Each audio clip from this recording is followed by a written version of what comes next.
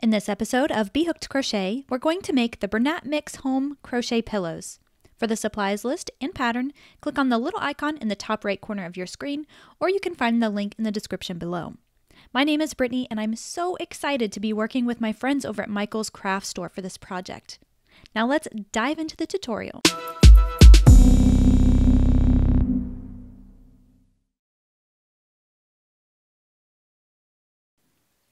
We're going to begin this little set with the smaller of the two pillows. We're going to grab color A, which is Goldmine, that I'm working with, but I want to give you a couple tips before we dive into the slip knot. Bernat Mix Home has four different unique textures. It's basically like we're taking four different types of yarn and putting them together into one skein. Now you can see each one of those textures here, and you've probably guessed this really bumpy texture that we see over on the side of our screen, that's going to be the most challenging section to work with, but it gives us one of the most rewarding results at the end. So my first tip for you is to open up your skein of yarn and figure out where you are within these four sections of textures.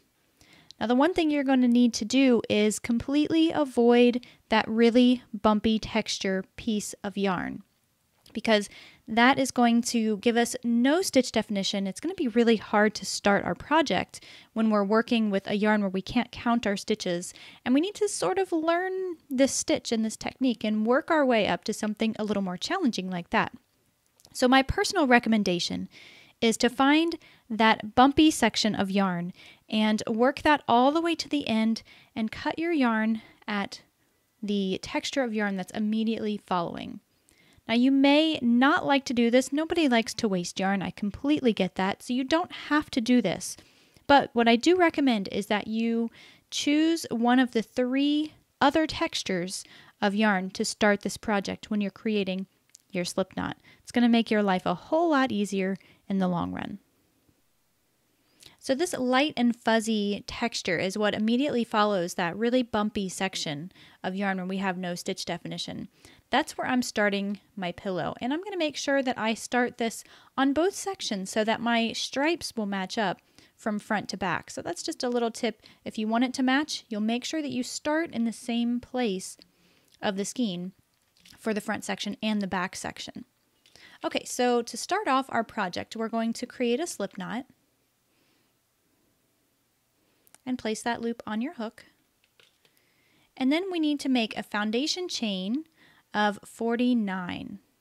So I'm counting each one of these chains. We'll have a total of 49. Now we are making a pillow that measures 16 inches long. And once you work through this chain, you're going to find that it's going to measure much longer than the 16 inches we need. It's actually going to measure about 20 inches and you can do a little check to make sure you're on the right track. If you need to change your hook size in any way, you can definitely do that to obtain the gauge. But we want it to measure about 20 inches, and that's because the stitch pattern that we're using shrinks up quite a bit. Anytime you, you do a slip stitch crochet technique, you can expect that it's going to shrink up a little bit. So I'm going to find the second chain for my hook by looking at it at the front with the braided section. So I have one and two, that's the second chain. And then I'll flip it over so I can see the back bump. And that's where I'll work my hook. And now we're going to make a slip stitch. So we're just going to yarn over and pull up a loop and then pull that same loop through the loop on your hook. And that's our repeat. This is a really simple stitch pattern. The yarn does all of the work for us. We're going to slip stitch into the next chain and in the next and all the way to the end of our foundation chain. We'll have a total of 48 slip stitches in our first row and for every row because this is going to be the repeat. And it's good to count as you go along. And what we're left with is a really short stitch that we're going to expose one of these edges and it's going to give it sort of a knitted appearance to it. Now slip stitches are one of those stitches that are challenging in terms of your tension. You can see that as I'm working these, I am I'm going nice and slow, which I feel like is a great approach, and I'm pulling up the loop and you'll see me push the yarn back onto the hook. And that's because the area that's right up next to the hook is considerably smaller than this part right here. I want to make sure this loop has a chance to reach the same size as the loop on my hook before I pull it through. And I'm doing that because it's going to make sure my stitches are even, first of all, but it's also going to make sure that my stitches are relatively loose. Now, everybody can get a first row of slip stitches, but where it really trips people up is when they go to work the second row and their loops are so tight they can't get their hook in them. So this is one way to avoid that. Just make sure you're working your stitches a little more loose than you normally would. Take a little bit of time and work one slip stitch into every chain until you get to the end of the row.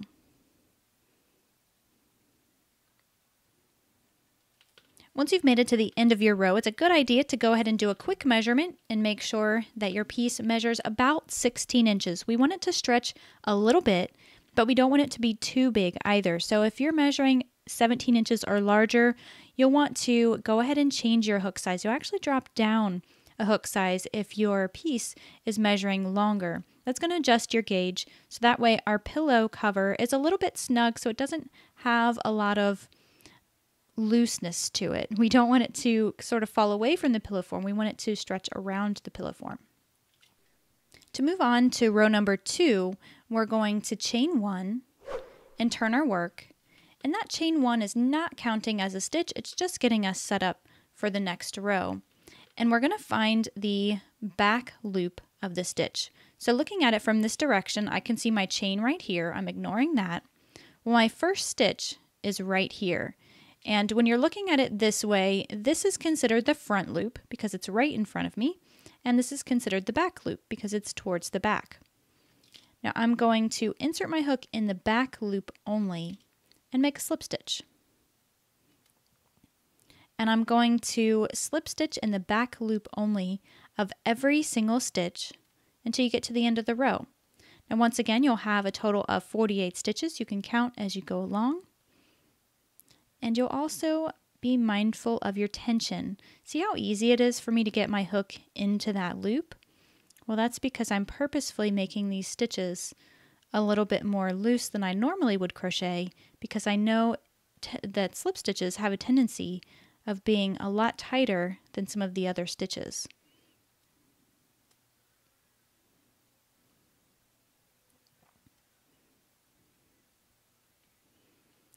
What I would like for you to do at this point is repeat this row until your work measures 12 inches from our starting edge. So our starting edge being right here, we want it to measure 12 inches to fit our pillow form.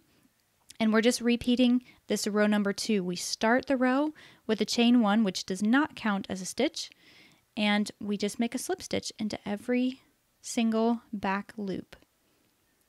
Now you will want to Make slight adjustments as your yarn transitions from one texture to the next.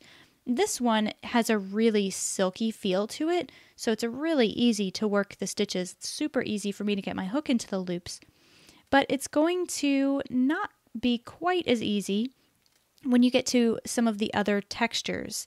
When you get to that t-shirt material section, so this part right here, that you have to put a little bit more work behind it in order to work your stitches. So it just doesn't glide quite as easily as this really fuzzy soft piece does. And so you really want to be mindful of your tension when you're going through that section of the yarn. And of course, when we get to that bumpy section, well, that's a beast all on its own. I want to take some time to give you some tips on how to work with that really challenging but beautiful section of the yarn. So let's have a look at that next. I know you're probably wondering what on earth am I supposed to do with this section of yarn where it's got all these little bumps and all this wonderful texture? Well, this is both a great thing and a not so great thing. When we're working with really bumpy yarn like this, we have no stitch definition whatsoever. So stitch definition is the ability to be able to see your stitches. So if we look back at some of our previous rows, we can see the slip stitches. They sort of look like a knit stitch. But when we look here, and, and here where I've got the same section worked, I'm using the same exact stitch, but it looks totally different. Well, this makes for a really interesting design, but it also makes for somewhat of a nightmare to crochet. So I'm going to give you some tips to working with this type of yarn. My first tip is to always look for your stitches at the top. Depending on the colorway you're working with, you do have a strand of yarn. So just identify what that color is. So for me, I have a black color here, and that's what I'm looking for. If I look really closely, the line that's going through, or that black line for me, is going to form a V or a, a relatively distorted V. It's not going to be perfect because we have all of this texture that's worked into it, but it does give us a starting point. The other tip I would give you is to count your stitches as you go. We know how many stitches we need to have for our project, and we just want to count when we're working with this section here. So anytime you're working with this really fuzzy part of the yarn, go ahead and count your stitches.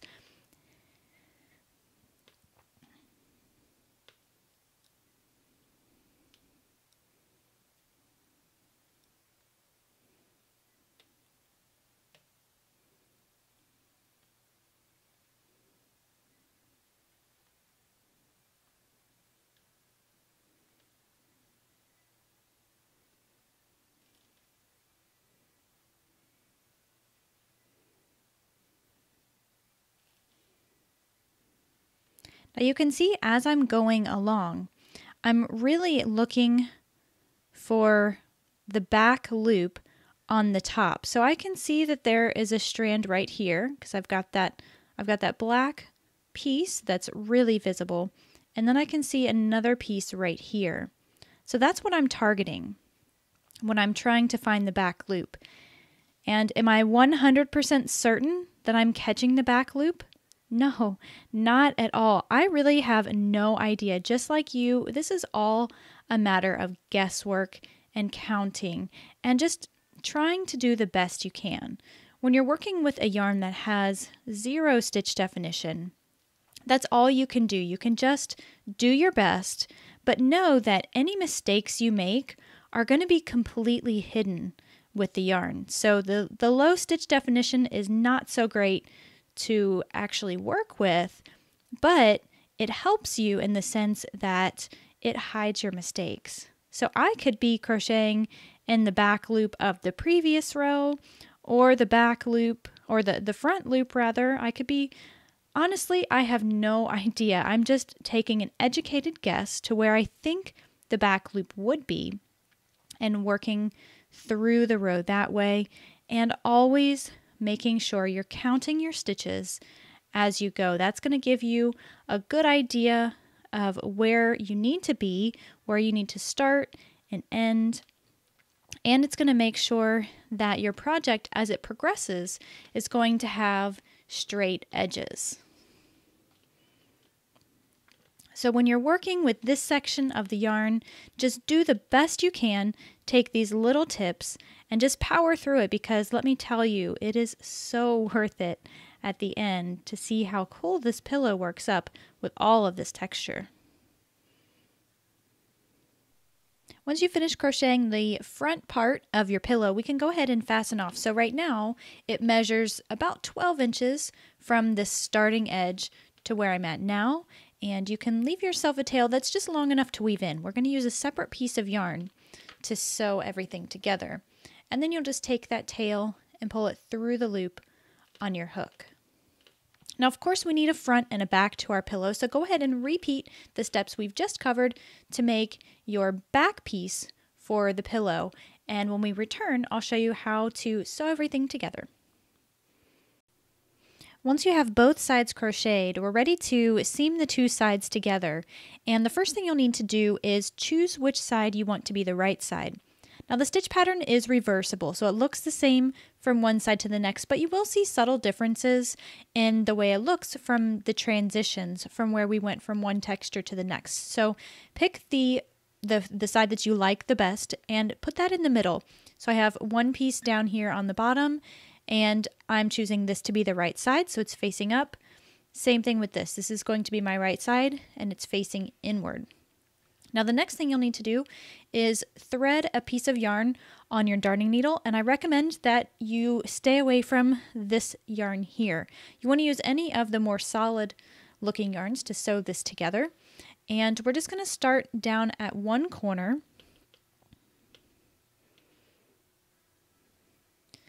and just insert your needle from one side to the next in the point.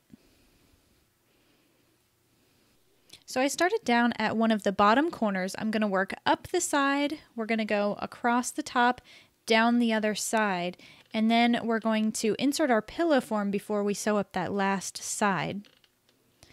What you'll need to do is work one stitch for every single row. You want to make sure your stitches are close enough together that we don't have any loops or holes or anything like that. So I'm going to work a whip stitch. So that's where I'm always going in from the same direction and placing them as often as I can.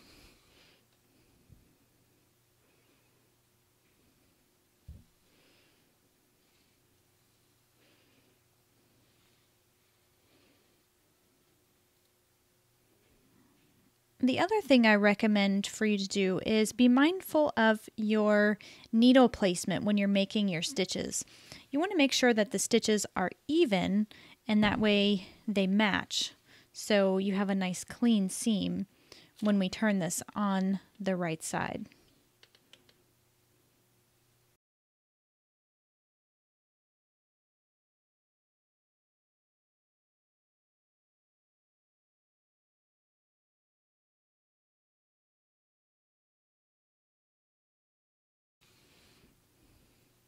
As I mentioned before, you'll want to go ahead and seam up this side just like I'm demonstrating here. And then we're going to seam along the top edge. Now when we get here, it's going to be a lot easier because we have stitches to work into. So you're just going to work your needle into one loop on one side and one loop on the other side and work that across. So go ahead and finish sewing up these three sides.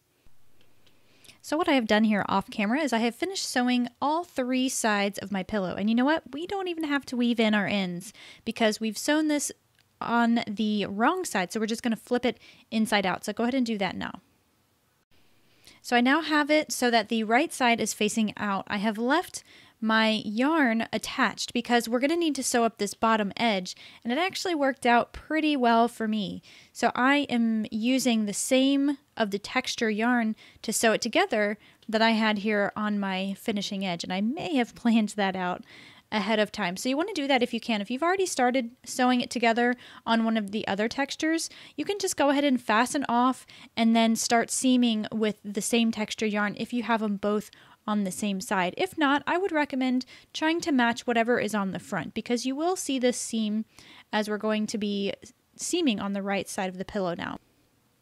Then once you have your pillow form in place and we have our scrap piece of yarn here that we're using to sew it together, I'm going to use the same technique that I did on the other side.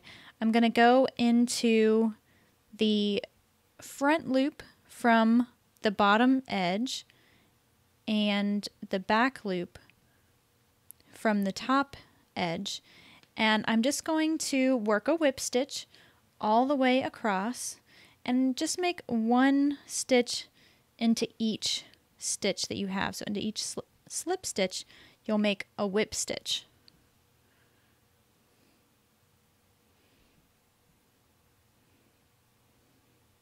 The thing you want to be mindful of during this process is making sure that you're matching your stitches up from one side to the other. That way it's going to work out evenly.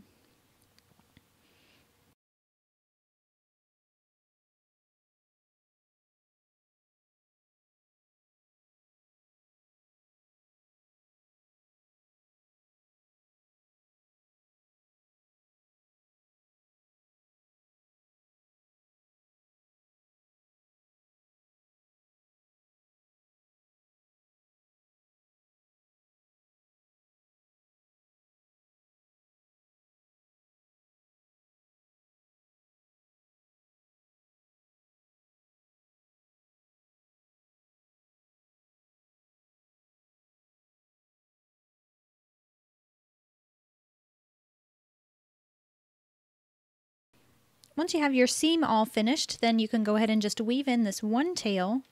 And I like to weave it in just right along the seam. Now this yarn is really easy to hide because it's sort of fuzzy and you can't see it.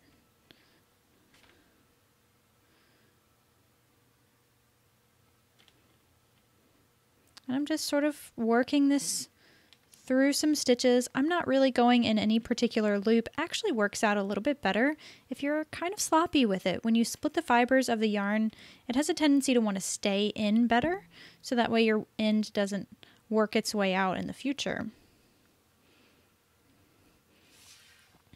All right, so that finishes up our first pillow. Let's get started now on pillow number two. Now we're going to go ahead and start on the second pillow now. You'll need to grab color B and your same hook that you used for the previous pillow. We're going to start with a slip knot. And again, if your skein starts with that really bumpy texture, just try to avoid that. Maybe pull from the center or the outside, see if you can get a different texture, or if you absolutely have to, go ahead and trim that section of yarn off. You should be okay as far as yarn requirements go. You really just don't want to work with that really textured yarn for the foundation chain because it makes it difficult to count your stitches. Okay, so this time we're going to start with 54 chains.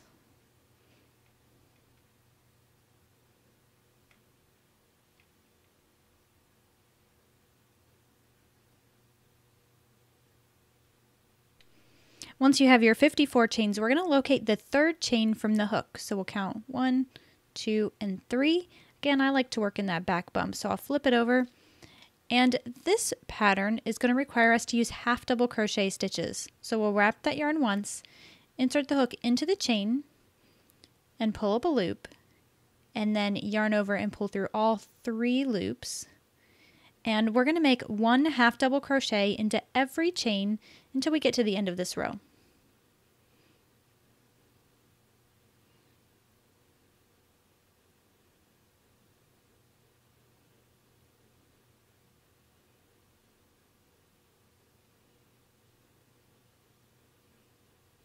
When you make it to the end of your row, you're going to chain two and turn your work. And the pattern repeat for this one is really simple too. We're just going to make one half double crochet into every stitch. Now we're not counting this chain two as a stitch, so we're going to go ahead and work our first half double crochet in that very first stitch. And then we're just going to keep moving on like that. We're going to make one half double crochet into every stitch until we get to the end of the row. Now this time around we'll have a total of 51 stitches in each of our rows and it's always a good idea just to count every so often and definitely when you get to that textured part of the yarn go ahead and count those stitches for every row. For the remainder of this pillow, what we're going to do is make one large square. So we want this to measure 20 inches from this bottom edge all the way up. We want that to measure 20 inches. That's the size of our pillow form. For this one, we don't need to work a front and a back section because we're going to get a little creative with how we piece this thing together. So go ahead and finish crocheting your entire square for your pillow form you want it to measure 20 inches from the bottom edge all the way up.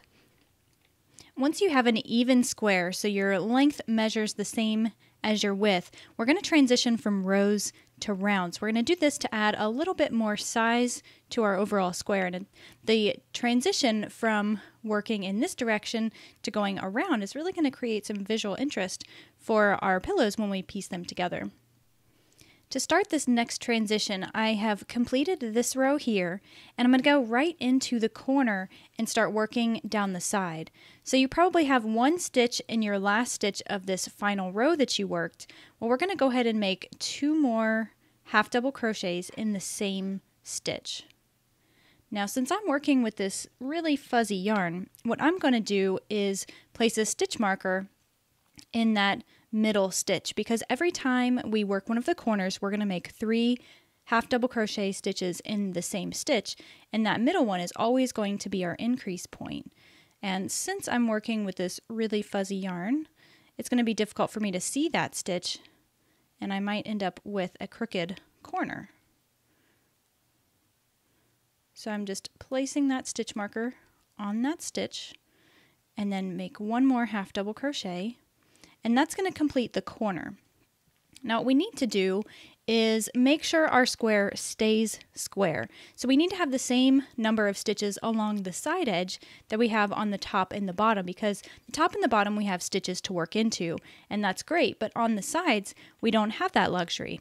So we have to make our stitches around the post of each row. So I have counted my rows. I have 37 rows and I know I need to spread 51 stitches somewhat evenly over that amount of rows.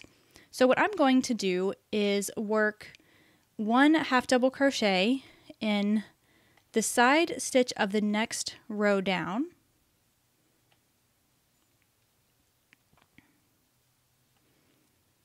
And then I'll work two in the next. So I'm just working around the post.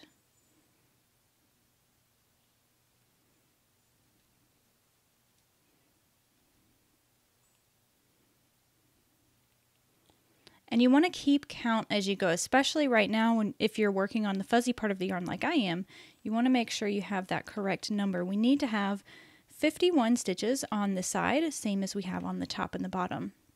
So I'm going to locate the next row and work a half double crochet there and then two in the next. And your numbers may turn out a little bit differently. Obviously, I'm not going to be able to do one and two every row because I will end up with too much, but you can do a little bit of math behind it. You'll just take the total number of stitches that you know you need, which was 51 in our case, and subtract the number of rows that we have, so 37, and that leaves us with 14 stitches. So we need to place two half double crochets in 14 of these rows.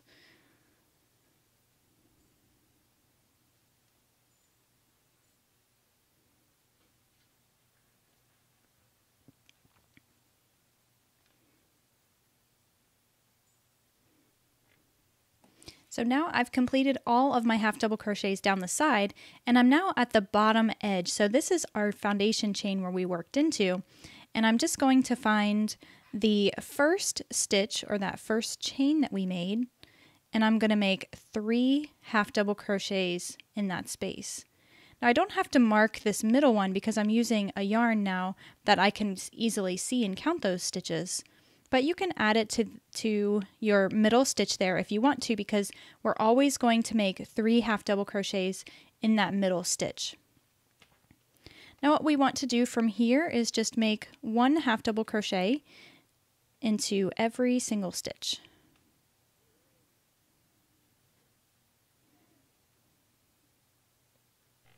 When you've made it to the end of your row, you're going to find your last stitch, which should be your chain. We're going to work three half double crochets there.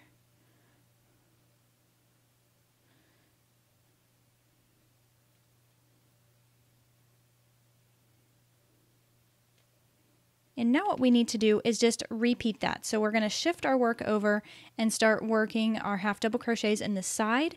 And then we're going to add three half double crochets to the very end. So we have our corner and then we're going to work one half double crochet into every stitch along the top side of the pillow before we join to complete the round. So go ahead and finish up the last two sides. We'll talk about that join and how to continue working our pillows. Once you finished your round, you're going to find your first stitch, which I have that middle stitch marked, so I know my first stitch is right next to that. I'm going to join with the slip stitch there to finish off the round. Now we're going to repeat this last round until our pillow measures about a 28 inch square.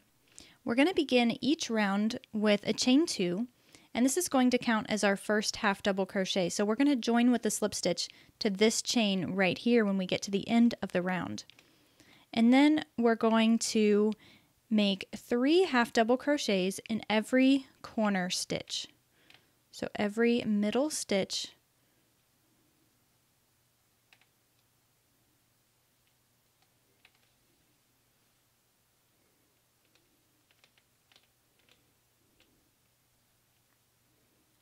and then you'll just make one half double crochet into every stitch all the way around. Do that and repeat this round until your work measures about 28 inches. And once you get to that point, we'll talk about the assembly. Once your pillow form measures about 28 inches on each side, you want it to be a 28 inch square, we can go ahead and fasten off.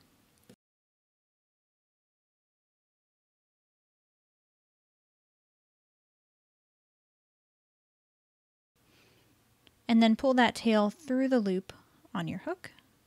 So the next thing we're going to do is crochet this onto our pillow form. Now what I've done here is I have placed my pillow form. I'm just laying it out on the table here with the wrong side facing upward. And then I just folded each of the four corners in. Now in order for me to make this a little bit easier for you to see, I'm going to demonstrate how to start crocheting the the ends together without the pillow form in there but you can go ahead and place it in there or you can start like this if you find that it's a little bit easier. You're going to pick one of the corners to start on and you'll grab your new yarn and fasten on. So we're going to grab our new yarn and create a slip knot and then you'll insert your hook into the back loop, so the loop that's further away from you, on the side that's closest to you. And then you'll go across to the next stitch on the other side. We're going to catch the front loop of that one. That's going to leave the outer loop on each side exposed and that's going to contribute to the pattern. So you'll pull that loop through the stitch and chain one. Now from here, we're going to make a slip stitch in the next stitch. So I'm going to catch the back loop of one side and the front loop of the other side. Pull that through and through. And we're going to complete this for every stitch. We want to make sure that everything is working out as evenly as possible. So you want to just check your work as you go, stitch a few, and make sure that it's going to end up at about the same place on the other side.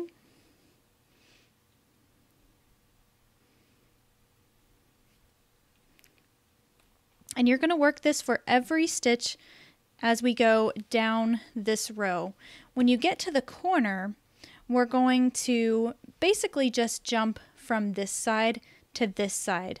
Now if you have some of the fuzzy yarn you will have to just do the best you can and guesstimating where those stitches are.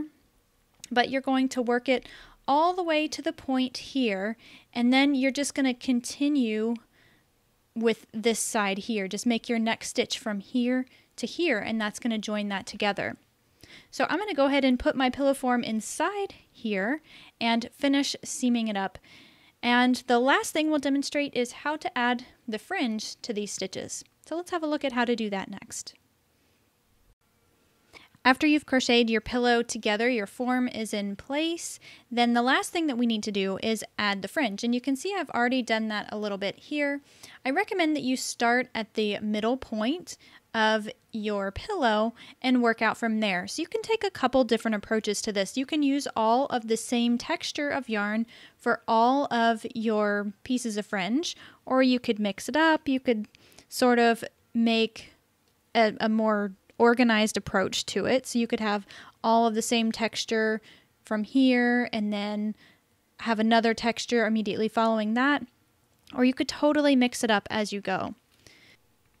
No matter which way you go with the fringe, the technique is going to be the same no matter what. So you're going to make cuts of yarn that are 8 inches long, and then you're going to find your slip stitch row. This is the row where we slip stitch the, the cover onto the form. Well, you're going to locate one of those outer loops, and you want to go for the ones on the bottom. And that's so the fringe will hang a little bit better. Then you'll take your cut of yarn and fold it in half so that it's even on the bottom edge. And then place that on your hook and pull it through the loop. Then just take your fingers and grab the two ends and pull it through the loop. and pull it tight. Now you're going to place one fringe for every stitch that you have.